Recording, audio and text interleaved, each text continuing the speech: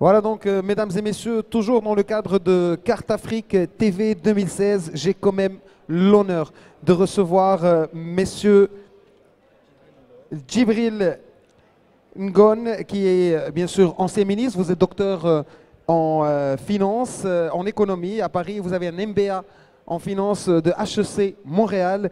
Et vous vous occupez bien sûr de la société Aire Finance Capital Investment.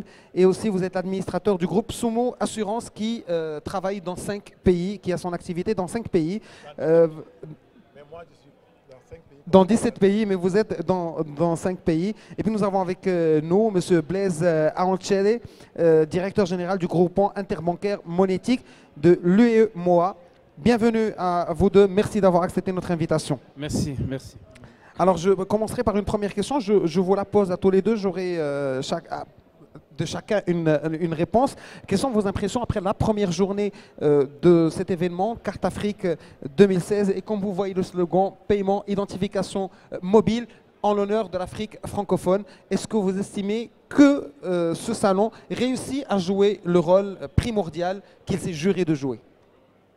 Excellente impression, je pense que excellente impression, parce que je pense qu'aujourd'hui nous avons eu la chance d'avoir euh, avec euh, nous euh, des experts qui ont abordé toutes les questions. Les questions de e-government, e-identification, identification unique, mais comment faire en sorte que les gouvernants de tous les pays puissent avoir accès à des instruments de développement économique et social? Je crois que c'était vraiment des moments très forts. Et par rapport à vous, monsieur euh, Oui, écoutez, oui, je, je ne peux qu'apprécier. Ça fait 11 ans que j'assiste à, ce, à, cette, euh, à cette plateforme hein, qui est devenue aujourd'hui une institution, comme je le dis, et qui regroupe euh, une quarantaine de pays, vous avez dû remarquer. Euh, mon impression est très bonne. Euh, à double titre, premièrement, d'année en année, je sens de l'innovation même dans la, conception, si tu voulez, des programmes de, ce, Salon 4 Afrique. Et, et- l'autre volet, je, vois un intérêt de plus en plus marqué l'ensemble des acteurs, y compris les, gouvernements, les administrations et les banques, les opérateurs, et puis des curieux également qui viennent pour euh, comprendre.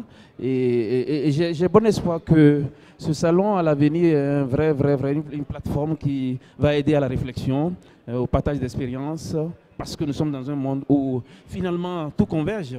Tout converge, euh, c'est pas seulement le numérique qui converge, mais finalement tout converge. euh, Et le numérique euh, a une place transversale et centrale euh, dans les stratégies de, de nos pays. Monsieur Ingom, vous êtes ex-ministre, vous avez dû traiter beaucoup de mots, surtout au niveau économique en Afrique, puisque les PMB sont sous-estimés, vu la circulation du cash de manière énorme. Il y a eu des ralentissements de développement sur plusieurs années, puisqu'on dépend plus de la pluviométrie, il y a des problèmes de sécheresse. Euh, C'est un continent qui a eu du mal à démarrer à un certain moment. Maintenant, les temps changent, l'Afrique est devenue l'espoir du monde, ce ne sont pas des marchés saturés, il y a des opportunités de développement extraordinaires.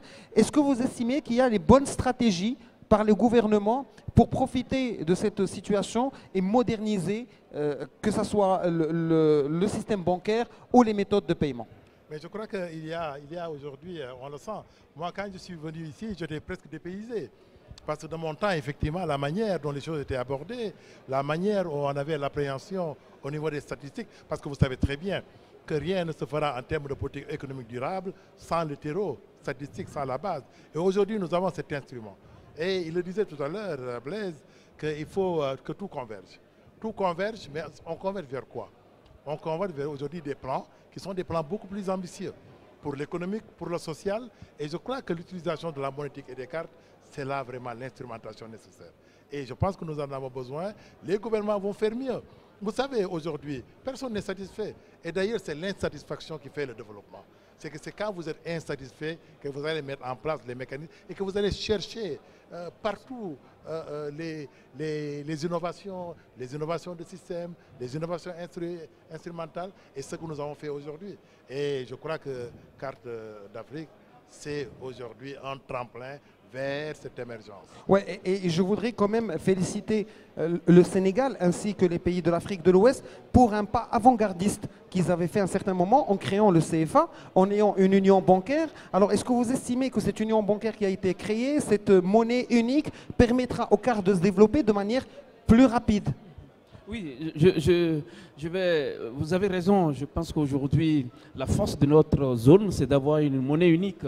Euh, c'est loin, c'est plus qu'une union bancaire, c'est une union économique. Et le ministre de l'économie est bien placé pour euh, préciser ces questions. C'est grâce à cette union qu'aujourd'hui les questions de convergence sont évoquées d'ailleurs euh, au niveau de l'union. Et nous sommes, et quand je vois aujourd'hui dans, dans notre métier, qu'on parle de convergence, je pense que ça fait des années que les questions de convergence sont évoquées dans toutes les, économies, de, en tout cas de la sous-région que je connais.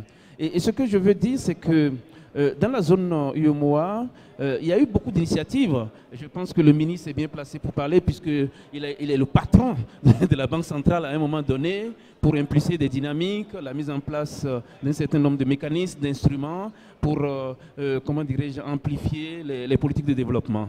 Et c'est le lieu vraiment de saluer tout ce qui est fait au niveau de la Banque centrale, tout ce qui est fait également au niveau de l'Union économique et monétaire euh, ouest-africaine. Et également une décision que, quand il s'agit de, prendre des décisions dans notre zone, les gens, les gens ne, ne font pas des économies.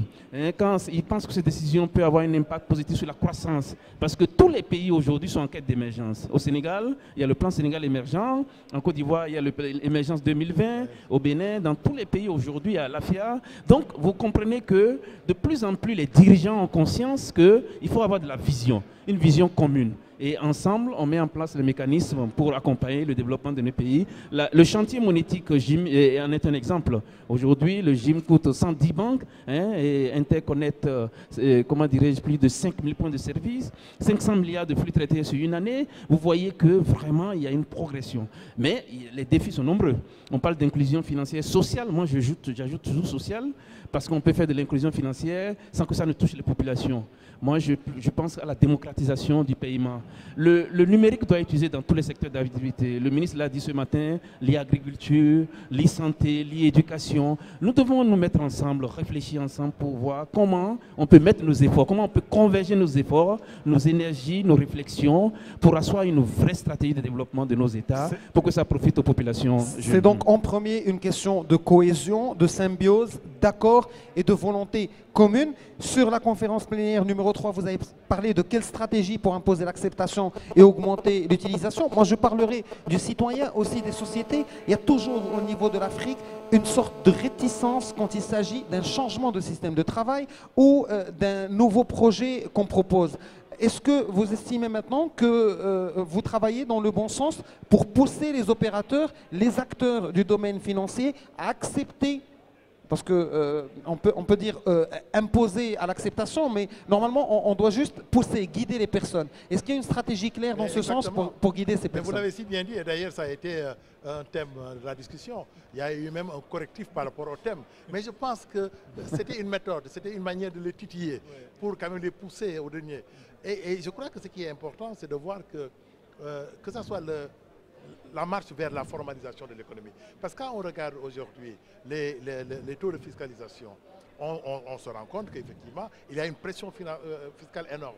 Mais cette pression, c'est sur un simple segment. Et l'objectif, c'est vraiment d'élargir l'assiette fiscale et de faire que la fiscalité ne soit pas aussi gênante, que ce ne soit pas une pression totale sur l'individu, sur l'acteur effectivement de développement économique. Et je crois que c'est un élément important. C'est pour cela, d'ailleurs, que nous faisons tout pour accompagner l'informel vers la formalisation. Mais en faisant quoi? Parce que c'est là l'aspect stratégique. Parce que ça permet déjà de, de, modifier le PMB. Parce, que quand vous regardez un peu l'apport de, l'informel sur les emplois créés, l'apport de l'informel sur la richesse nationale, parce qu'on voit que l'informel contribue entre 50 et 60% du PIB dans tous nos pays. Donc cela veut dire que c'est important. Donc c'est une chose, c'est une dynamique qu'il ne faut pas casser. C'est une dynamique qu'il faut accompagner en faisant quoi? En faisant de la formation, en faisant de l'explication, en faisant en sorte que l'acteur se bonifie pour augmenter ses rendements. Et d'ailleurs, c'est le lien qu'on a vu nous tout à l'heure entre l'informel et l'agriculture. L'agriculture, c'est la même chose. Taux d'emploi élevé, mais taux de rendement très bas. Donc, productivité augmentée comment? Et je crois que l'introduction de l'e-gouvernement, de l'e-agriculture, c'est un nouveau concept mais cette nouvelle vision va transformer d'une manière durable l'économie nationale. En tout cas, si l'Afrique a eu du retard sur des secteurs d'activité, je crois qu'au niveau du e-banking et du e-gouvernement, nous avons la possibilité de faire un saut, de nous aligner au niveau mondial et de pouvoir toujours avoir euh, cette euh, égalité de chances. Bien sûr, il faut de la recherche, il faut de l'investissement dans le domaine, il faut, comme vous avez dit, accompagner les personnes et leur expliquer et les former. En tout cas, merci beaucoup d'avoir été avec nous.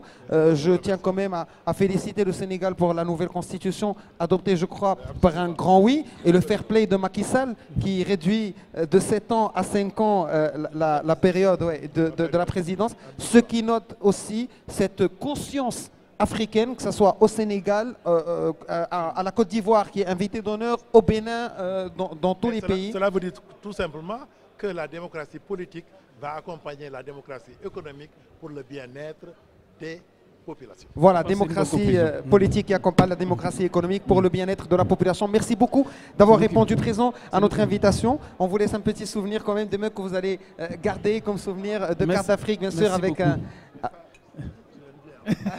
Merci infiniment. Et, Merci et beaucoup. À très bientôt. Et, À très et- et bonne bientôt. continuation et Merci. bonne chance. Merci beaucoup à vous, c'est très gentil. Merci. beaucoup.